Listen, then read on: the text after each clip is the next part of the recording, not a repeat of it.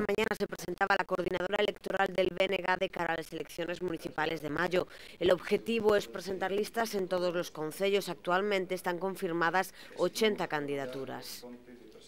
Nos presentámonos con eh, optimismo, co optimismo e a confianza de poder mm, ser unha alternativa a estas políticas, eh, eh, trasladar tamén esa confianza, digo, aos cidadáns, eh, con, co convencimento de que ali onde temos responsabilidade de goberno o estamos a facer ben,